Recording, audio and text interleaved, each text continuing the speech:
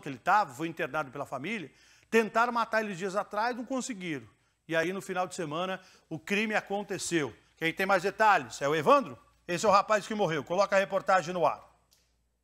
Este jovem que está aparecendo na imagem é Fernando Aparecido de Azevedo, de 17 anos. A família de Fernando fez de tudo para tentar tirar ele do vício. Inclusive chegou a interná-lo em uma clínica de reabilitação depois que ele sofreu uma tentativa de assassinato na cidade de Maringá. Foi a última tentativa da família.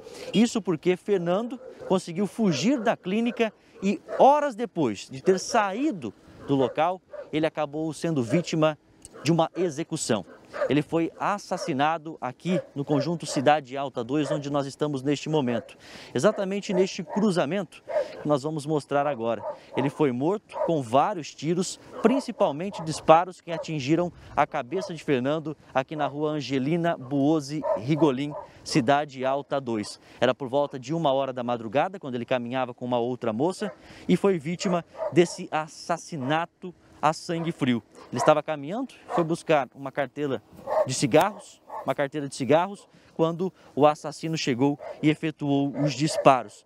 Ele já estava realmente sendo ameaçado de morte. Tanto que, como eu disse, dias antes ele já havia sofrido uma tentativa de assassinato, mas conseguiu fugir, correr sem ser ferido.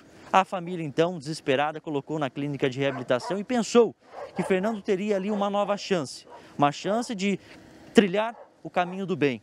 Mas ele acabou fugindo da clínica horas antes e infelizmente caminhava por aqui após a fuga e foi morto por um assassino que agora a Polícia Civil de Maringá está tentando encontrar. Mas trata-se realmente de uma execução. A pessoa queria tirar a vida de Fernando e infelizmente conseguiu. A família está bastante entristecida com a situação porque tentou, fez de tudo para que ele trilhasse um caminho diferente do que vinha seguindo.